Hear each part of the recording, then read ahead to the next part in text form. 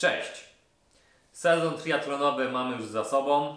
Dzisiaj chcę wrócić do mojego głównego startu, czyli do Ironman Gdynia, pełnego dystansu, bez pływania i opowiedzieć o tym, jak wyglądała moja regeneracja po tych zawodach. Powiem też, jakie mam plany na pozostałą część roku i pochwalę się moim nowym nabytkiem.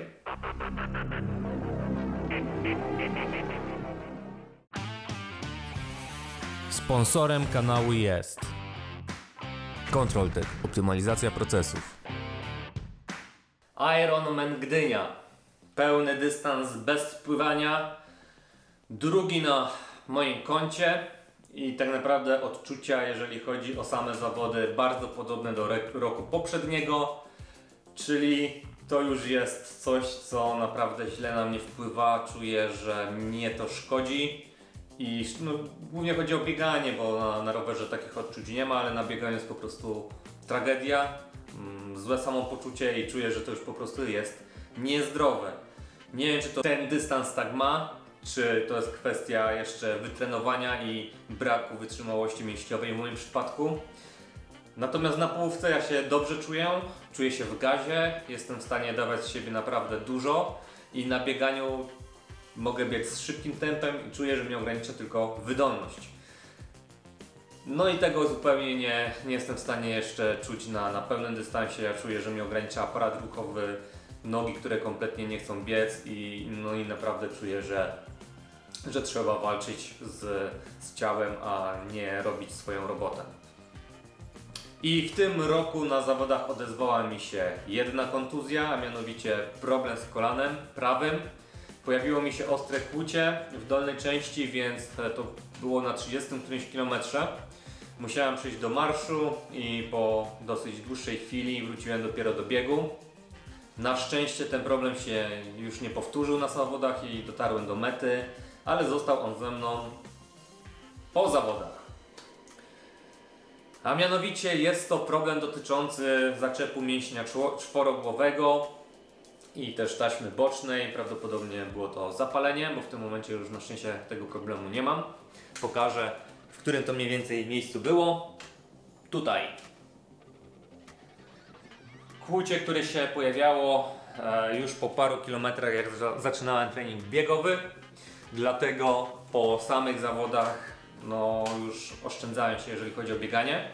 Pierwszego dnia, czyli w poniedziałek, kompletnie nie podejmowałem żadnej aktywności fizycznej.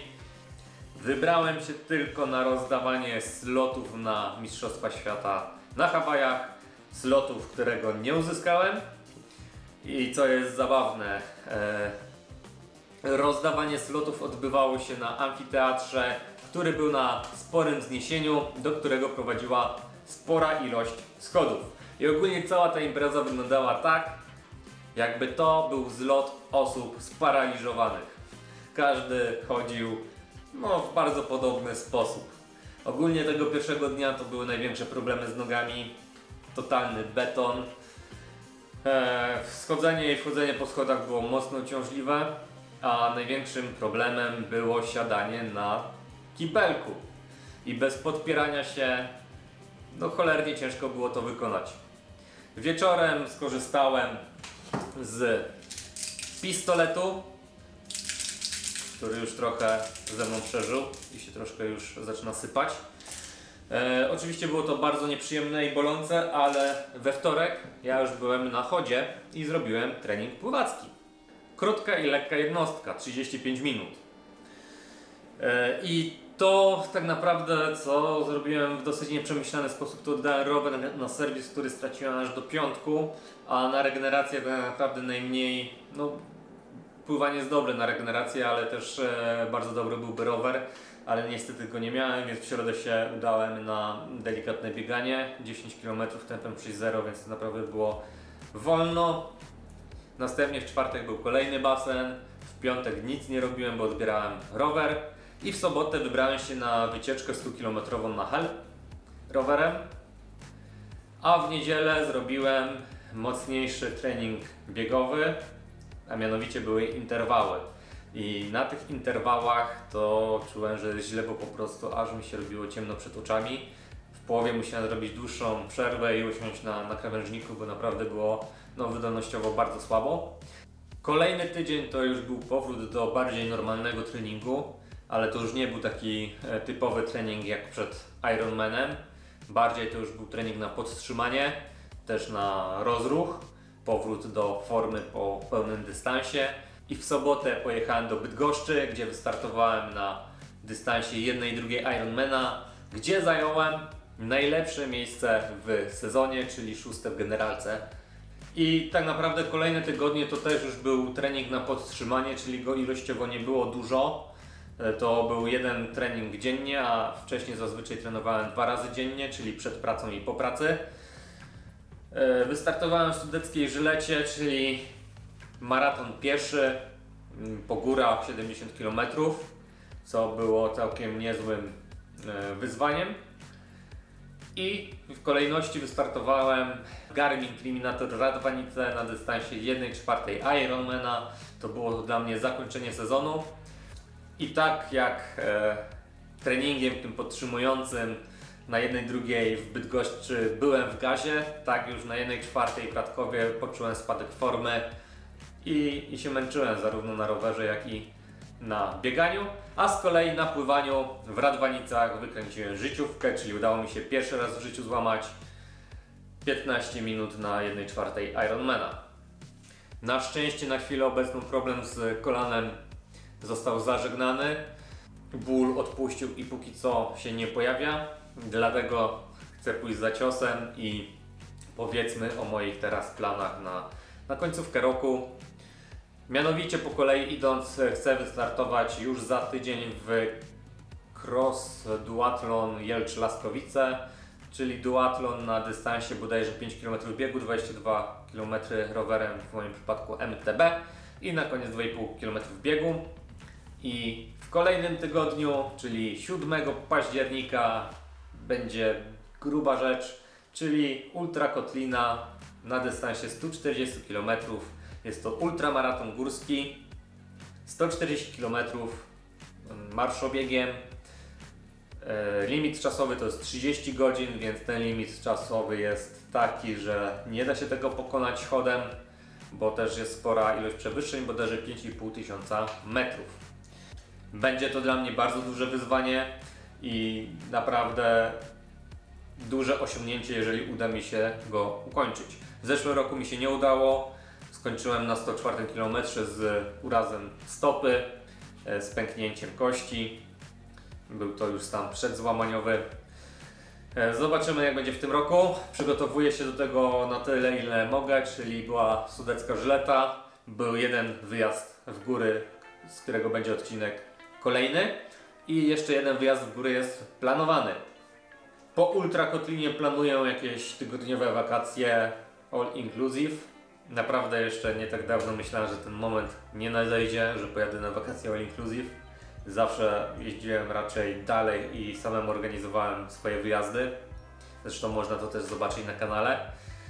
A w tym momencie po prostu jestem zmęczony. Też pojawiła mi się duża niechęć do treningu. Bardzo duża. Zeszły tydzień mocno podszedłem do tego elewatorsko. Dlatego myślę, żeby po prostu pojechać na wakacje all inclusive, odpocząć. To już będzie takie roztrenowanie i od początku listopada, czy może od trzeciego tygodnia października wrócić już e, z treningiem triatlonowym i przygotowaniami do sezonu 2024.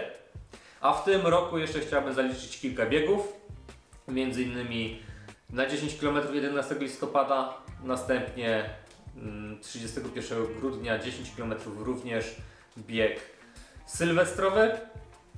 I chciałbym też zaliczyć jakiś maraton rowerowy, aczkolwiek w terminie, który by mnie interesował, czyli końcówka października czy listopad, to na szybko jak patrzyłem, to już ciężko znaleźć jakieś zawody. Zobaczymy, jak się uda, to na pewno będę chciał wystartować, jeżeli nie, no to na wiosnę. I skoro mówię już o maratonach, o MTB, to czas się pochwalić nowym nabytkiem. I co my tu mamy? Dam, dam, dam, dam. Oto i on, Rock Rider, rower MTB. I jestem bardzo zadowolony i szczęśliwy z tego zakupu. e, udało mi się wyrwać fajną sztukę, która ma wszystko czego chciałem, czego sobie życzyłem. Sztywne osie, przyzwoity amor, napęd 1.12, karbonowa rama, fajna masa 10,5 kg, koła 29 cali. To już jest mój czwarty rower w stajni. Posiadam jeszcze starą szosę, którą w najbliższym czasie będę musiał sprzedać. Natomiast pieniądze wydane na, na ten rower uważam, że to są no, bardzo dobrze wydane pieniądze, bo jazda po lesie, po łonie natury, po górach jest bardzo przyjemna, dostarcza bardzo dużo szczęścia i jest zupełnie czymś innym niż jazda na szosie, która oczywiście też jest przyjemna, ale z czasem robi się monotonna. A to jest zupełnie co innego. Będzie fajna odskocznia, urozmaicenie treningu. No i szczególnie w tym okresie, który mamy, który powoli nam się teraz robi, gdzie już szybko robi się ciemno, czyli w tygodniu się średnio da jeździć na zewnątrz. Robi się mokro i robi się zimno, no to w weekend dzida w las, gdzie będzie można się zgrzać, a deszcz tak bardzo nie będzie przeszkadzał. Myślę, że to będzie strzał w dziesiątkę. W tym odcinku to by było na tyle. Już niedługo pojawi się relacja z wyprawy w góry, gdzie wpadł srogi trening. No i też testowanie nowego nabytku. Do zobaczenia. Cześć!